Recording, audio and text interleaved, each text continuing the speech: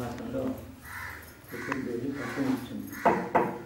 పంచమి తేదీ కూడా చతుర్థి పంచమి షష్ఠి మూడు తిథులు నాగలోకానికి ఉండే నాగదేవతలు ఉన్నారు. వాళ్ళకి ప్రీతికరమైనటువంటి తిథులని లేదు ముఖ్యంగా లోకం ఆరాధించేటటువంటి శ్రమికుడు ఉన్నారు ఈ షష్ఠి శ్రమతో పోయి చేస్తే నాగలోకంలో ఉండేటటువంటి ఆ దేవతల యొక్క అనుగ్రహం మనుషులు కలుగుతుంది. నాగదేవతలు అంటే సర్పాలు కాదు మనం భూమి మీద తిరుగుతున్నటువంటి మామూలు సర్పాలు కావు. ఇవి ఆ జాతి యొక్క ఆ నాగ కులం ఏదైతే అక్కడ ఉందో వాటి యొక్క అంశం ఇందులో ఉంది. అందుకని అంశం అంటే ఇందులో కొన్ని ముఖ్యమైన సర్పాలు ఉంటాయి. సర్పాలనే అన్ని పురుగులు లాంటివి కావు. కొన్ని అక్కడక్కడ ముఖ్యమైన జాతి సర్పాలు కూడా ఉంటాయి. అక్కడ నాగజాతిలో ఉండేటటువంటి నాగ సర్పములు ఏవైతే సర్పరూపంలో ఉంటాయో సర్పరూపంలో ఉండవు. అవి. తేజోమయంగా ఉంటాయి. సూర్యకిరణాలు వెళ్ళి ఉంటాయి. ఇలాగ సూర్యకిరణాలు వెళ్ళి ఉండి ఇలాగా కి- పెడతారు. కలిపి కిందకి వెళ్ళకుండా నేరుగా పెడతారు. పారి అందుకని అవి సూర్య స్తోత్రాలను సూర్యకిరణాలను సర్పాలతో పోల్చారు. సర్పములు వెళ్ళే నాగ నాగలోకంలో ఉండే సర్పాలు వెళ్ళి కిరణాలు లోకాలను వ్యాపిస్తున్నారు తేజస్సు ప్రాణం ఇస్తున్నారని చెప్పి సూర్యుడిని స్తోత్రం చేస్తున్నాయి కాబట్టి ఆ లోకమే వేరు ఆ జాతి వేరు. వాటి లక్షణాలు దేవతాంశలు. మనం మాత్రం వాటిని డైరెక్ట్గా పూజ చేయడం మన వల్ల సాధ్యం కాదు కాబట్టి వాటి అంశం ఉన్నటువంటి ఉత్తమ జాతి సర్పములను పూజ చేస్తున్నాం. ఈ సర్పములు ఆరాధన చేయడం అంటే ఆ నాగజాతిని వాటిని ఆరాధన చేయడం అని అర్థం. అక్కడ వాసుకి మొదలైనటువంటి దేవతాంశ సంపదలు ఉన్నాయి. ఈ సర్పములు ఈ భూమిలో ఉండే సర్పములు కాక ఆ నాగజాతికి నాగలోకంలో ఉండే సర్పము వలె ప్రవహించేటటువంటి లోకాలను తిరిగే దైవాంశములు కలిగినటువంటి వాటికి వాటికి ప్రజాపతి కశ్యపుడు. ఈ భూమి ఎందు కశ్యప ప్రజాపతి ప్రాణికోటిని మంత్రులు సృష్టించాడు ఒకప్పుడు ఈ భూమి మీద ఏ ప్రాణికోటి లేదు. అంతా జలమయంగా ఉంది. జలం జలం అంతా వెనక్కి వెళ్ళి భూమి కొంత బయటపడ్డ తర్వాత ప్రాణికోటిని భూమికి తీసుకొచ్చిన వాడు కశ్యపుడు. కశ్ కాశ్యపే నాది మంత్రిత అని చెప్పి భూమిని స్తోత్రం చేస్తాం. భూమికి కాశ్యపి అనే పేరు వచ్చింది. కాశ్యపి అంటే కశ్యపుడి చేత ప్రాణికోటితో నింపబడినటువంటి గోడ ఉంది అని అర్థం. అది కాశ్యపి ఆ కశ్యప మహర్షి రెండు వేరే జాతిని సృష్టించాడు. పక్షిని సర్పాలని పక్షులు ఏమో అంటే సామాన్య పక్షులన్నీ కూడా తర్వాత వృద్ధి పొందే సంఖ్యలు.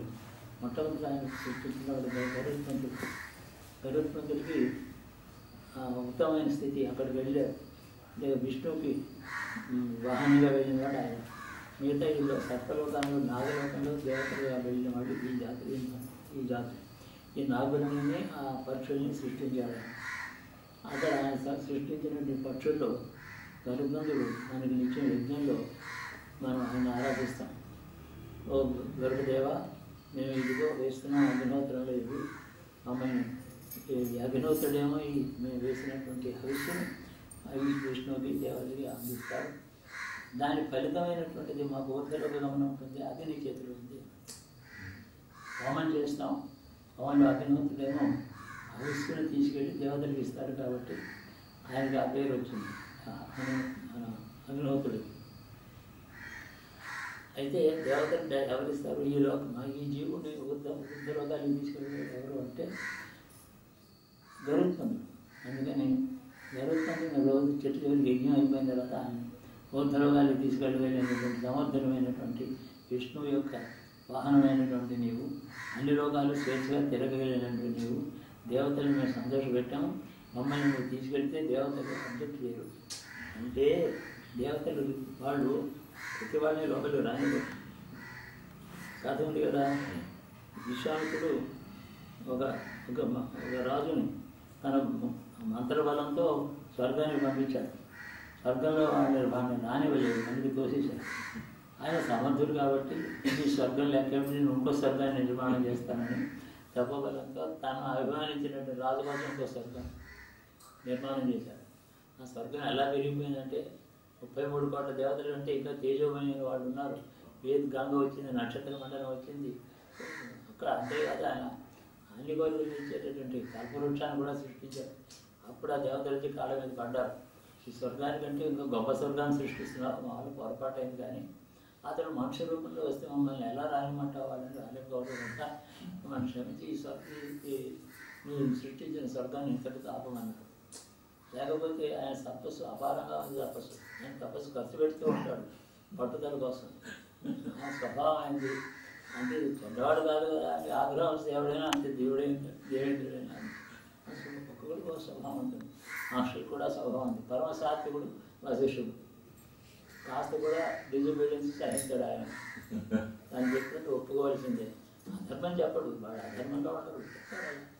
అలాగే భరద్వాజుడు ఆయన స్వభావం ఇంకోటి. ఈ మనుషులందరికీ స్వభావాలు ఉన్నాయి.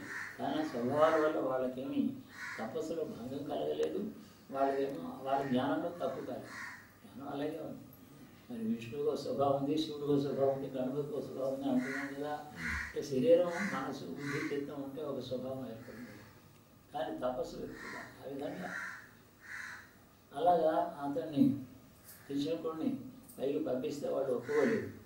అందువల్ల యజ్ఞంలో మేము చేసే అవిర్భాగాలు ఇస్తుంటే అగ్నిహోత్రుడు తీసుకెళ్ళి ఇస్తున్నారు కానీ ఈ అగ్నిహోత్రుడు ఈ హవిస్తుని తీసుకెళ్తున్నాడు మమ్మల్ని తీసుకెళ్ళలేడు అందుకని నీవు తీసుకెళ్ళి మమ్మల్ని అని చెప్పి అర్థం అక్కడ. ఆయన్ని చివరికి ప్రార్థన చేస్తాం. అంతేగాక దేవయానం పితృయానం ఉన్నాయి. దేవయానానికి నువ్వే తీసుకెళ్ళాలి పితృయానానికి ఎవరిని మమ్మల్ని సహజంగానే పెడతాం అంటే చుట్టుపక్కల ఉండే దక్షిణ దేశంలో ఉండేటటువంటి కొన్ని చిన్న లోకాలు చుట్టూ చిన్న లోకాలు చాలా పద్నాలుగు లోకాలు వేరు మన చుట్టూ ఉండే లోకాలు వేరు పితృలోకం ఉంది. పద్నాలుగు లోకాలు ఒకటి కాదు కదా. అలాగే ఇక్కడ ఉండే నాగలోకం. పాతాళాలు వేరే ఉన్నాయి. ఈ నాగలోకం. ఈ బ్రహ్మాండం అంతా ఒక షేప్లో బాగా ఆర్గనైజర్గా ఒక సిస్టమేటిక్గా నడుస్తుంది. మనం ఒకటి సృష్టిలో ఈ భూమి మీద మనమే ఉన్నాయి ఎవరు లేరని అనుకోకూడదు. ఇంత సృష్టి మన కోసమే ఉంటుందా? మనం ఒకళ్ళే ఎలా ఉంటాం మనం ఇన్వెస్టిగేట్ వాళ్ళు సైంటిస్టులు అయినా వాళ్ళకి ఏమి ఎక్కడ కనపడటం లేదు ఇంకో జీవులు ఎందుకు కనపడలేదు జీవులు అనేటువంటి లోకాలు ఉన్నాయి. దేవలోకం ఆ లోకాలన్నీ చాలా దూరంగా ఉన్నాయి. వీళ్ళు ఇన్వెస్టిగేట్ చేసే ఇన్స్టిట్యూట్ అంటే చాలా దూరం గెలాక్సీ అయినా పని దగ్గర కనబడుతుంది కానీ ఈ లోకాలు కనబడుతుంది దివ్య లోకాలు. వాటికి రూపం ఉంటుందో కాబట్టి గరుత్మంతుడు కూడా ఈ రోజుని షష్ఠి ఇక్కడ రేపు సుబ్రహ్మణ్యేశ్వరుని అగ్నిహోత్రుని గణపతిని మూడింటిని ఆరాధించాలి. సుబ్రహ్మణ్యేశ్వరుడు గణపతి గరుత్మంతుడు మూడింటిని ఆరాధించడం ఈ పంచమి నాడేమో గరుత్మంతుడిని ఆవాహన చేస్తాం. దాని అతని అతని పాయసాన్ని ఇస్తాం. అతనికి ఏమో కొన్ని ఎర్రని పుష్పాలతో పూజిస్తాం రేపేమో ఒకరు కలిపి తర్పణం కూడా ఇస్తాం. ఇది పూర్వం ఒకనాడు ఉండేది. బుద్ధుడితో సమస్తం నాశనమైంది. వైదిక ధర్మం వైదిక ఆచారం కర్మ కర్మ పోయింది. జ్ఞానం ఒకటే కావాలి మంచిది. జ్ఞానం డైరెక్ట్గా వెళ్ళడానికి వీలైతే ఎవరైనా వెళ్ళొచ్చు. అలా లేదు. సృష్టిలో రూల్స్ ఏమున్నాయంటే నువ్వు క్రమంగా పెరగాల్సింది. ఐదేళ్ళ పిల్లవాడికి బిఏ డిగ్రీ ఇవ్వగలరా? మీరు ఎంత ఇష్టమైతే కూడా వాడు చదువుకోవాల్సిందే. వాడు పదిహేను పన్నెండు ఏళ్ళు పడాల్సిందే. వాడు పెరగాలి వాడి జ్ఞానం రావాలి భాష రావాలి మాట రావాలి చదువు రావాలి అప్పుడు వస్తుంది. కాబట్టి అలాగే మోక్షం కూడా డైరెక్ట్గా నీ ఇస్తానికి ఇవ్వగలిగిన వాడు ఎవరు లేడు. చూపించాడు మార్గం తను వచ్చాడా? కానీ మోక్షం ఇవ్వగలిగిన మహర్షులు ఇవ్వలేదు మోక్షాన్ని ఇవ్వగలిగిన మహర్షులు ఉన్నారు ఈ లోకంలో. వాళ్ళు ఎవరికి అలా ఇవ్వలే. స్వర్గానికి పంపించిన వాడు ఈయన ఒకటే మరి ఏ ఇతర మహర్షి కూడా స్వర్గానికి ఎవరిని పంపించలేదు వాడు పుణ్యం చేత వాడు వెళ్ళాలి. నేను ఎందుకు పంపించాలి? కానీ ఏ అహంకారం వేరు. ఇది పంపించాలి కాబట్టి కొన్ని రూల్స్ ఉన్నాయి దీంట్లో. ఈ బ్రహ్మాండంలో. ఆ రూల్ ప్రకారం క్రమంగా పెరగవలసింది. పుణ్యం చేసి పుణ్యఫలం పొందాలి. పుణ్యంలో వైరాగ్యం రావాలి వైరాగ్యం చేత చేసినదంతా దానం చేయాలి. దాని తపస్సు కూడా దానం చేయాలి రెండు వైరాగ్యం రావాలి వైరాగ్యం రాసి సృష్టిలో ఏది ఆకర్షించకూడదు మనిషిని. చిత్తం కర్మ సాత్వికం వెళ్ళిపోవాలి ఏ రజోగుణం తమగుణం పూర్తిగా పోవాలి. సత్వగుణం రావాలి. ఏనేందు భ్రాంతి కామక్రోధాలు ఉండకూడదు. అలాంటి వాడు దీని పేరు అడగాల్సిన పని లేదు. జీవుడు సహాయం కాబట్టి వెళ్ళి అలా ఉంది సిద్ధాంతం. కానీ బుద్ధుడు పాపం లోకమే చాలా ధైర్యం వాడు మనిషి చాలా గొప్పవాడు. కానీ ఏమో జ్ఞానం పొందాడు. నాకు ఈ జ్ఞానం వస్తే వెళ్ళి వెతుకు రాదు? నేను యజ్ఞం చేయలేదు కదా. నేను క్రతువులు చేయలేదు కదా. మా నాన్న నాకేమీ ఆ పంపించేందుకు ఏమి ఇవ్వలేదు కదా. కాబట్టి నాకు నాకు వచ్చింది వీలు ఎందుకు రా నేనే మళ్ళీ ఇంకో చోట చెప్తాడు నాకు నాలుగు వందల నలభై రెండో జన్మ ఇది అంటాడు ఈ రెండో చోట పెట్టుకుంటే నీకు నాలుగు వందల జన్మలు కాదు మాకు నాలుగు ఐదు వందల జన్మలు కావాల్సి వస్తుంది. నువ్వు ఇస్తే మేము పెడతామా అయితే నేను ఇంకో రెండో పెద్ద పొరపాటు ఏమిటంటే సనాతన ధర్మానికి విరోధంగా చేసిన పని ఏమిటంటే సంఘం. వ్యక్తికి ముక్తి ఉంటుంది వ్యక్తి మోక్షం వస్తుంది కానీ ఇద్దరు కలిపి రాదు. నలుగురు కలిపి రాదు. ఏదో టూరిజం వెళ్ళినట్టు వంద మంది వెళ్ళినట్టు అలా వెళ్తారా? అది మోక్షం అంటే ఒక వ్యక్తికే వస్తుంది. ఇద్దరు కవల పిల్లల్లో ఒకటికి రావచ్చు ఒకటి నరకానికి పోవచ్చు. ఒకే గర్భంలో పుట్టిన వాళ్ళు భార్యాభర్తలు కానీ తల్లి ఈ బాంధవ్యాలు ఇక్కడ ఈ శరీరానికి బాంధవ్యాలు. రెండు జీవులకి బాంధవ్యాలు ఏ బంధుత్వం లేదు. ఏ జీవుడు ఆ జీవుడే. కాబట్టి ప్రతి జీవుడికి వైయక్తికంగా వ్యక్తిగతంగా ఎప్పుడో ఒకటికి వాడికి పరిణామ దశలు వచ్చిన తర్వాత మోక్షం వస్తుంది కానీ అందరినీ కలిపో బ్యాచ్గా అలా వీల్లేదు. అందుకని సంఘం పెట్టడంతో పెద్ద పొరపాటు. ఈ ఆ సంఘంలో ఆయన గొప్ప దయామయుడు కరుణా సముద్రుడు. కరుణ చేత చేశాడు. ఇంకేం కాదు అహంకారం చేత కాదు. దయచేత నాకు వచ్చింది వీళ్ళందరూ అందరికీ మోక్షం ఇస్తే అసలు ఏ వేదం ఎందుకు యజ్ఞం ఎందుకు గ్రంథులు ఏమిటి కులం ఏమిటి స్వధర్మం ఏమిటి పరధర్మం ఏమిటి ఏం అక్కర్లేదు.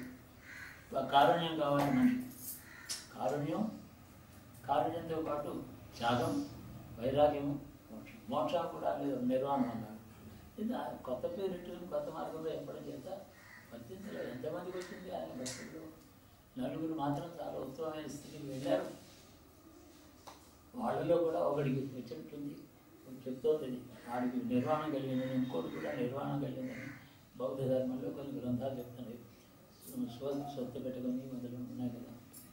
కాబట్టి బౌద్ధం అలాగా కాకుండా ఎవడికో వాడికి స్వర్గలోకానికి వెళ్ళే అనుగ్రహం వస్తుంది. యజ్ఞాలు పది మంది చేసిన ఆ యజ్ఞంలో సత్ఫలం ఉంది. ద్రవ్యశుద్ధి చిత్తశుద్ధి ఇవన్నీ ఉండాలి. మంత్రశుద్ధి మంత్రం పరిశుద్ధంగా ఉండాలి. చేసిన వాడుకున్న ద్రవ్యం బాగుండాలి. మంచిదై ఉండాలి. చిత్తం పర పరమ ప్రశాంతమైన చిత్తం కాదు. అప్పుడు స్వర్గమైన ఉద్యోగాలు వస్తాయి కానీ అదే రావు. కాబట్టి అలాంటి వాడు ఎవరినో తీసుకెళ్ళి గరుతుందని తీసుకెళ్తాం ఈ మూడు తిరుగులు చతుర్థి పంచమి షష్ఠి ఈ ముగ్గురు దేవతలకి చేయడం శ్రేష్టం. నేను చతుర్థితో నాగదేవతలకి చేస్తాం గణపతికి చేస్తాం ఇవాళ గణపతికి వాటికి ఇద్దరికి చేస్తాం. రేపు రేపు సుబ్రహ్మణ్యేశ్వరితో కలిగి ముగ్గురు నలుగురు దేవతకి చేస్తాం. నాగదేవత కూడా నాగదేవత సుబ్రహ్మణ్యేశ్వరుడు గణపతి గరుత్మ ఈ మూడు తిథులు చాలా ముఖ్యమైనవి ప్రతి నెలకు ఒక విశిష్టత ఉంది. విశిష్ట నెలకు విశిష్టత ఉంది కానీ నిన్నటికి వాడికి తేడా ఉంది. అదే సూర్యుడు అదే సూర్యోదయం అదే సూర్యాస్తమం. రోజుకి రోజుకి తేడా ఏంటంటారు? చాలా తెలియని వాడు అంటే ఈ ఈ వేద విజ్ఞానంలో సమర్థత లేనివాడు దీనికంటే చాలా తెలివైన వాడు అనుకుని ఏమిటండి నిన్నటికి వాడికి తేడా? రోజు అదే ఉదయం కదా. అదే భూమి కదా అదే ఆ మామిడి చెట్టు కదా అంటాడు. కానీ అలా లేవు. సూర్యుడికి చంద్రుడికి ఉండే దూరం పేరు తిథి ఆ రెండు కలిసి అమావాస్య. మ్యాక్సిమం డిస్టెన్స్ ఉంటే పూర్ణిమ. ఇది చాలా చిన్న విషయం. ఏం కష్టం? అర్థం చేసుకోవడం లేదంటే తిథి ఇవాళ కాబట్టి భూమి మీద అన్ని ఒకలా కనపడతాయి కానీ ఆకాశంలో ఉండే నక్షత్రములు అందుకని ఈ వారం ఈ నెల అంతా కూడా రేపటికి దేవతలు అయిన తర్వాత తర్వాత మిగతా అంతా అంతా కూడా ఈశ్వరుణ్ణి సుబ్రహ్మణ్యేశ్వరుని ఆరాధించమని చెప్పింది. కృతిగా నక్షత్రంతో పౌర్ణమి వస్తుంది కాబట్టి కార్తీక మాసం షట్కృతులు ఉన్నాయి కాబట్టి షణ్ముఖుడు ఆరాధ్యుడు పురుషు ఈ విధంగా మనం ఏ మతంలో విశిష్టత ఏముందో ఏ మా ఏ ఏ మాసంలో ఏ విశిష్టత ఉందో తెలుసుకుని ఆ మతాన్ని ఆ మా- ఆ మాసాన్ని అలాగే మనం అనుసరించేటట్టయితే సంపూర్ణమైన వైదిక మతంలో ఉంటాం.